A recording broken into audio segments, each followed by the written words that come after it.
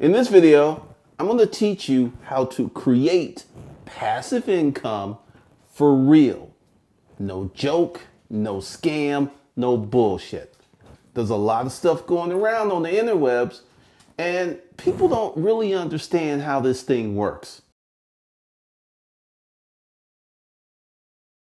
Everyone talks about passive income. There's a lot of stuff online like how to develop passive income. Passive income doesn't exist. Well, you know, you're, you're chasing fool's gold or you're wasting your time to trying to develop passive income. And I got asked this question the other day, and I realized that many people don't understand how this really works. Be sure to get your free 19 business courses below. The company's name has been rebranded as Hustlers Kung Fu. That's what the 19 courses do. They help you with your credit, they help you with child support, they help you how to sell stuff, and they help you how to build a business. So be sure to go below, click that first link, and get your free 19 life skill business courses. I know it's 2016. Everyone's talking about passive income, how to develop a business online. But the truth of the matter is, 80 to 85% of all commerce is done offline in 2016. Hmm. There are many people that don't know how to build a business other than an online business. And not saying it's bad, but if you're going to be about business, shouldn't you know how to build a business online as well as off? I'm just saying. There's a lot of stuff that goes on with the conversation about passive income. And I see that often the, the conversation is really one sided passive income from an online course, passive income from affiliate marketing, passive income from doing some internet related thing. As I said in the intro, fully 80 to 85% of all commerce is done offline. So, why aren't more people working on that? I'm going to tell you why. Many people are looking to make a lot of money without doing a lot of work. Now, I'm here to tell you that passive income is real, passive income is possible, and as I put out in the opening, I'm going to teach you how to develop sustainable passive income. Now, what I didn't say was it's going to be a challenge, not impossible, because people do it. Right here, we're at DC Comics. This is a conversation that I had when I used to populate writers groups. And I understood that many people just weren't getting it because I wrote a how to book, and many of them were writing fiction. And it was just like, how can we get some marketing with fiction? And I was like, well, you heard of Spider Man, right? You've heard of the Manta, you've heard of the Flash, you've seen the t shirts, you've seen the figurines, right? All of those guys are fiction, fantasy, merch. And now let's get with DC Comics. They got a lot of stuff going on. They've got the characters, there's the comics, there's the movies, the TV, the games. Now, all of this stuff is licensed out to other people. DC Comics doesn't make all these figurines and shirts. What they do is, or a manufacturer or someone like you will say, Hey, DC Comics, may I have a merchandising license? And they'll go, Well, you know, we really like what you're doing. We like your concept. And we're going to approve you to be a licensed merchandiser of our stuff. See that pregnant pause? DC Comics isn't doing this stuff. They license the rights to the movies. They license the right. There is it's called passive income. Green Lantern. I was reading that as a kid. The Joker. All of these Batman, Superman. These comic book characters are decades year decades old. Matter of fact, let's see. Let's just do this real quick. How old is Superman? I think it was like 1910, 1930, something like that. Um, let's see. And they, have got this. no, he's older than that. I should say how old is. Let's see. when was the super with my bad typing, man, character when was the the Superman created? Better. Uh, let's see. Let's go here because I know it was in the 19, early 1900s. Uh, June 1938. Superman is getting close to being 100 years old. Think about that. Think about that. So, someone has been making money from licensing out his image, his name, costume for decades. Okay, let's go to another one. Disney. Walt Disney. How old is Mickey Mouse? He's older than Superman. Similar theme, but look, they go into figurines, they go in the store. They've now the park they own. But the characters, the merch, the costumes, all this is passive income because see Disney doesn't make this stuff. They license it out and they get royalties, passive income. I'm going to go now. Uh, I'm going to put all this together for you because some people are like, well, I can't be Walt Disney. Well, let's look at Walt Disney. Because, see, for all of you sad faced suckers who want to cry and, like, I can't do that, look at Walt Disney because I am a student of the truth and I'm a student of history. And Disney went bankrupt. Read the story.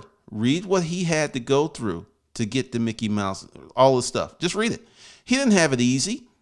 Um, a lot of bad things happened on his way to creating the Disney brand. It just didn't happen. All right, so let's go to some more recent. For a long time, Nike didn't own any factories, and a lot of people don't know that. They were a licensing company, they were a marketing company. They didn't make shoes, they marketed the logo. Someone else did the heavy lifting and they got what? What? Passive income to the tune of billions. Billions with a B. Billions. Now, you know, I, I, it looks like I'm screaming at you because, see, the thing is, this is right before your eyes. So many people are trying to make so much money without doing shit. And then they wonder why they're confused and they're wondering why the money doesn't come. Air Jordan, okay?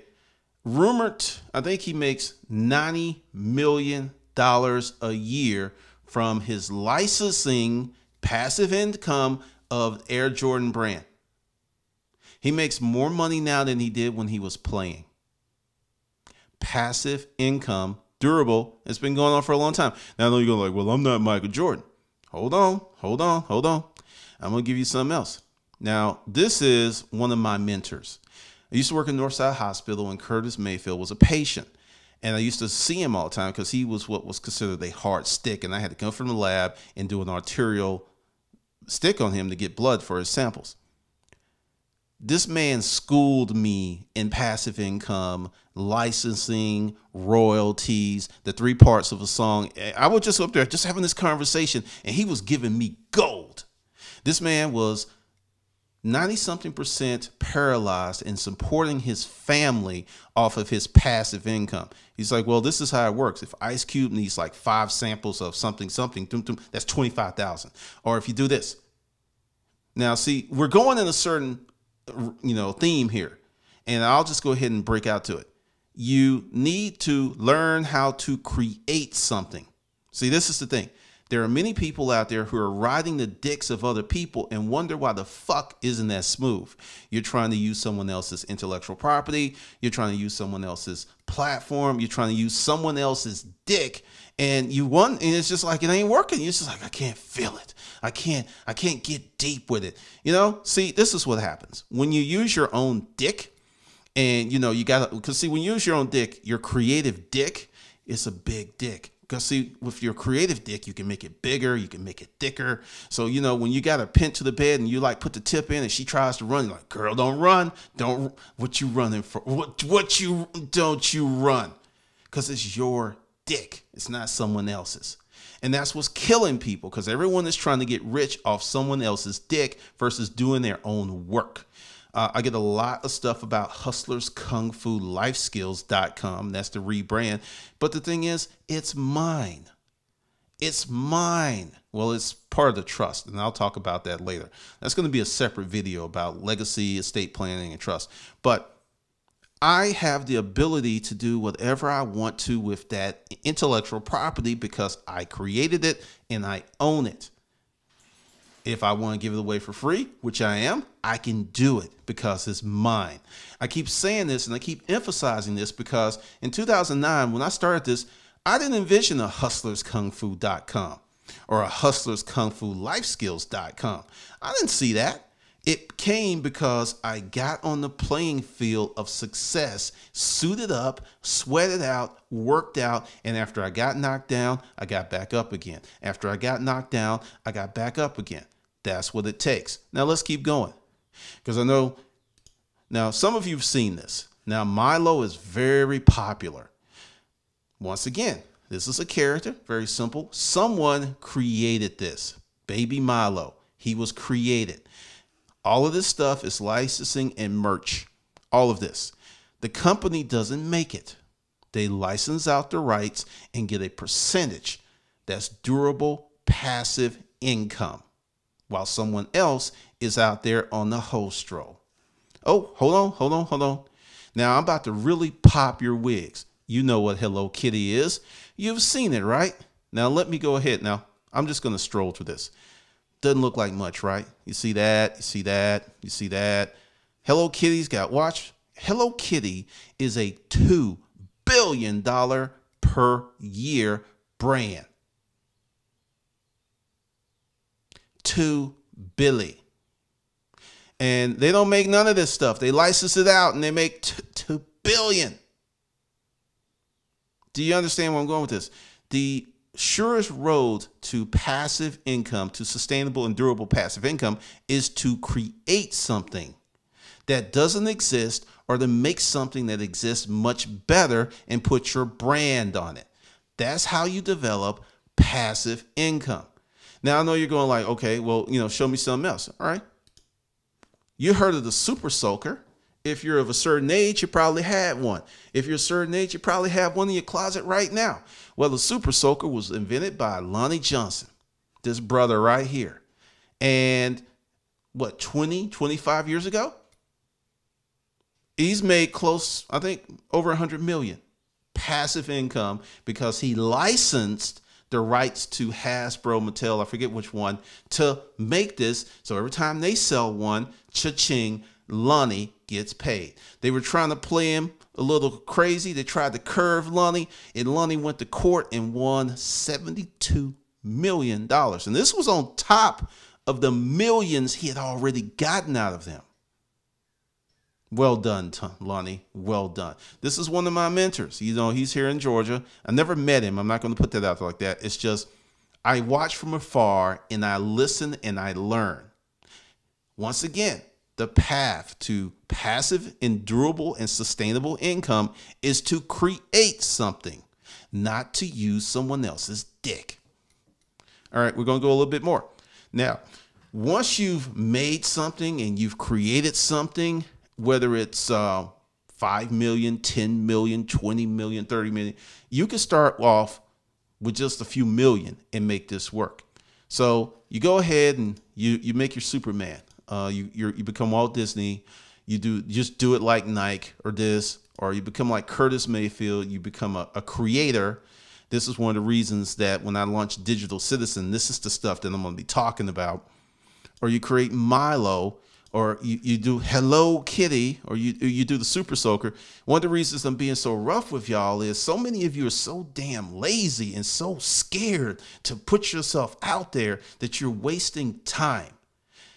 The next 10 years, whether you do anything to make your life better or not, is going to pass. So you might struggle building your whatever for two or three years, then it starts to even out around year four, and then year 10, you're a millionaire. You've got a million dollars a year coming in from your invention, your brand, your hustle. That's how you do it. Not all this quick, hurry up, snappity snap. Oh, I got to have my money now. You sound like a bitch, like a little scared bitch who wants his mommy or daddy. Real adults go out and build things. Okay, now that you've got that speech and you're here, once you made your money, then you park it somewhere. Now, the way that my investments run, the company, you know, all the companies that I've created that started being successful, except for the commercial furniture business, everything after that had very high profit margins. So my investments was in me and in the business, in my personal development, education. Now, one of the things that's going to happen from a new business that I launch that I see how it's going to happen, we're going to get into commercial real estate. Because let's just say you have a liquidity event, you create something, it's year 10, and then someone says, bam, here's a check for $50 million. Now, let's just be real. $50 million is more money than a lot of generations of families could spend. So, what do you do? You're going to have to pay your capital gains taxes, you know, and since you're at that level, you already have your team. So, we're not going to talk about that. Then you could, like, I'll give you my scenario because, you know, this is what I like to do for fun. If I won uh, 50 million in the lottery, or if I created a business or something, and I got, because there's a scenario for each level of, of income 10 million, 20 million, 50 million, 100 million. I've got plans if any of that money ever came my way. So, for the sake of this video, 50 million. Now, let's just say taxes are paid and there's 50 million left. I would take 5 million and put it in my personal bank account. 5.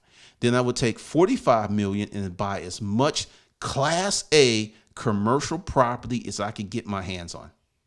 I would not get into the bond market. I would not, no, I would nothing 100% because see at that level you have enough money to pay cash for the real estate. Now there are some people who will come in well you know well just put that down and leverage no no no no no. See those are poor people games. Those are poor people games. I know rich people who use their own money and pay cash for buildings they, you know, the guy told me, he says, you know, I started off that way and I got all these investors and I had to deal with, do it their way because I was using their money. And he said, I got fucking tired of it and I started spending my money and I don't let anyone in on my projects and I use my money on everything. And this is a guy worth a hundred million here in Georgia, Georgia boy, didn't go to college. He's just, he's got a hundred million dollars in commercial real estate and he built it himself. Now, 45 million, class A that's going to be you know depending upon the market because i you know i would not limit myself to atlanta. I would buy anywhere. It doesn't matter. If the property's in california and it's a good deal i'll buy it. If it's in denver i'll buy it. It doesn't matter. Because i'm not going to manage it. Because at that level you can go out and hire a professional leasing team to manage the building collect the rents deal with the maintenance. And we're talking seven figures a year after you know taxes and stuff and interest and paying everybody passive income. Now that's just one way. I mean you can go back and you could be like lonnie and keep your super soaker going or you could do hello kitty and just you know get money out the ass two billion a year. So this is how you get true sustainable and durable passive income by opening up your mind and realizing there's a lot of opportunity out here it's just not the internet thing.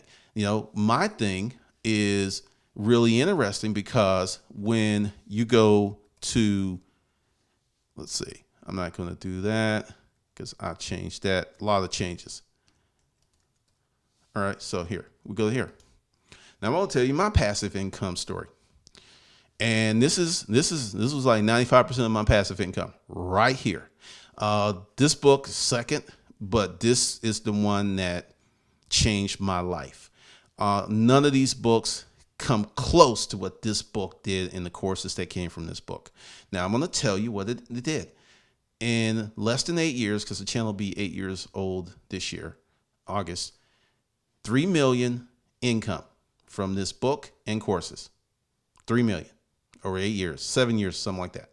Now, here's the thing when the most money was coming in, I was doing absolutely nothing. I would wake up sometimes with 1,500 to $3,000 in my merchant account every day. And this went on for a few years. Now, let's let's reverse engineer this process. I went out and hustled my ass off and started doing stuff in the storage auction business that no one else was doing. Then later on, after I got out, I sold that intellectual property. Do you understand how this thing works now? Do you, do you get the feel? Now, this is the thing. I'm relatively young, and this whole thing about being on the beach, and you know, I lived in Japan for six months. I've been around the world. I don't have that wanderlust that a lot of people who've never been anywhere, and I'm not insulting you. I'm just saying that some of these things that you want to do seem larger because you have that thirst. And once you take these trips and go there, you be like, ah, I don't really want to do that. I'm like, me, I'm good with two or three trips a year. I'm happy. I'm fine. I don't need to be on the plane every time I turn around. Some people, that might be your thing. You might need to be on the plane every week going somewhere. That might be your happy. I'm I'm just saying.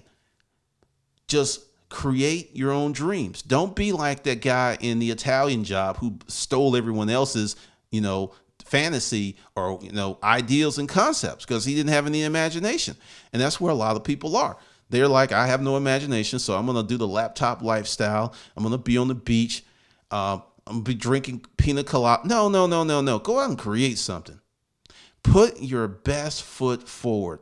Work as hard as you can. Put your soul into something versus hoping and wishing you're going to get some money for little to minimum effort or quote leverage.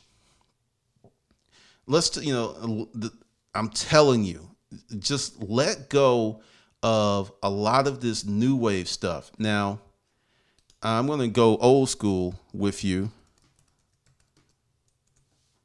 and look this cat up. This is uh go back, check out his books. I'm just going to go ahead and make it easy for you. Cuz this is some old stuff right here. Okay? Now, buy these books. These are not my books. And I don't have an Amazon affiliate code. Peter Drucker, the effective executive. All right, now I'm going to give you someone else. I just was spelling it wrong. Okay, this is the guy that made Toyota. All right, so go to Amazon, and these are the books to get. They're timeless. This information doesn't change because you've got to execute. So get everything by Drucker and get everything by Edward Deming. Get everything, everything. Management, these books will help you build real businesses.